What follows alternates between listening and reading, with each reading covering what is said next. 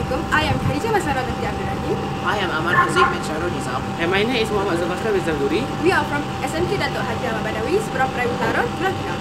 and our project name is Automatic Closure.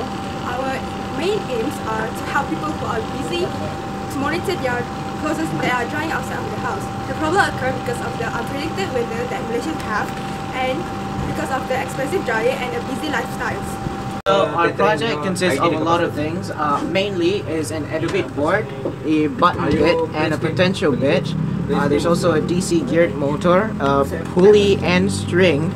Uh, and the main part of this machinery is the vertical blinds and also this moisture sensor.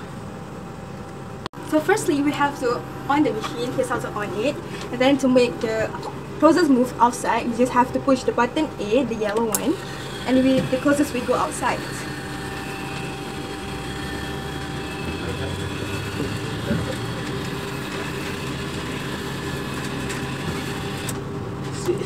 And to to make it move inside again, we have to push the other button, which is the button B, and it will move inside again.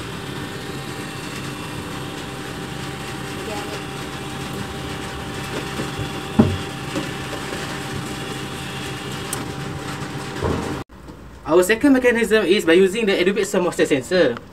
Firstly, we push the button A to retrieve out the clothes.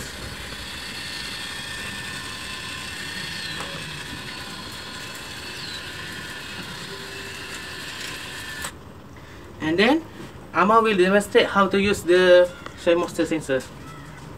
It works if it detects a rain, water, and then it will move automatically inside.